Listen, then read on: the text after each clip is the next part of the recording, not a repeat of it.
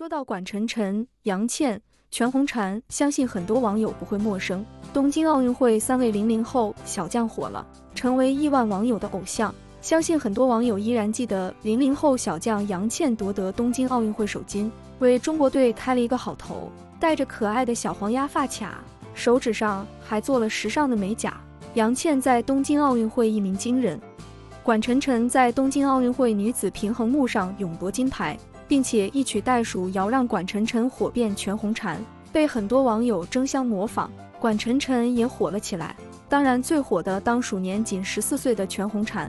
全红婵东京奥运会舞跳三次满分，强势夺得奥运金牌。全红婵惊艳了世界，被称为中国跳水队百年不遇的天才。经常关注体育的网友都知道，跳水是我们的优势项目。中国跳水队涌现出很多出色的运动员。比如跳水女王郭晶晶、奥运五冠王陈若琳等人，但是能在奥运会这样最顶级的大赛中跳出三次满分动作的运动员真的很少见，被裁判一致认可全红婵独一份。反观三个人火了之后，杨倩回到国内接了很多代言，拍摄了很多广告，杨倩自然也是赚得盆满钵满。反观管晨晨并没有接太多广告和代言，但是管晨晨活跃在社交媒体上面。时不时发一些搞笑段子或者舞蹈，曾经引起很多球迷的热议。很多球迷建议管晨晨还是把精力放在训练上面，还希望看到管晨晨巴黎奥运会夺金。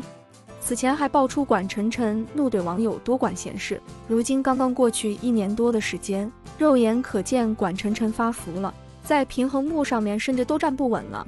随后爆出管晨晨退役的消息。最近，人民日报体育正式确定了管晨晨已经退役的消息，并且给管晨晨送上了祝福。人民日报体育表示，走下奥运会的最高领奖台，管晨晨即将迎来校园生活的新天地。对于每个人来说，人生随时都有着新鲜的领域等待开拓。管晨晨的退役，一方面是身体发育导致体型变化，再就是体操这个运动项目本身职业生涯就很短暂。那么，再反观杨倩的射击项目。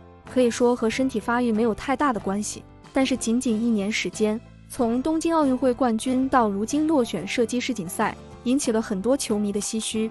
杨倩因为队内多轮测试成绩不如队友，无缘世锦赛了。很多网友吐槽被代言综艺耽误了，对二十二岁的杨倩来说确实有些可惜。巴黎奥运会还有两年左右就要到来了，大家杨倩还能参赛吗？再反观东京奥运会爆红的全红婵。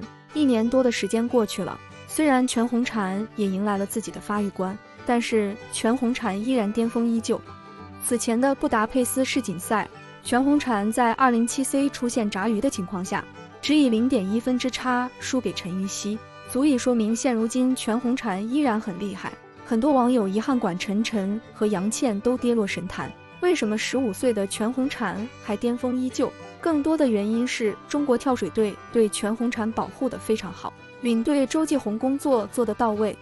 全红婵火了之后，中国跳水队有意保护全红婵不受外界干扰，不接广告，不参加综艺，同时给全红婵安排奥运五冠王陈若琳来做主教练，才有今天全红婵的巅峰。不得不说，国家培养一个出色的运动不容易，周继红非常珍惜人才。周继红的带队和铁腕治军值得其他项目学习，说对吗？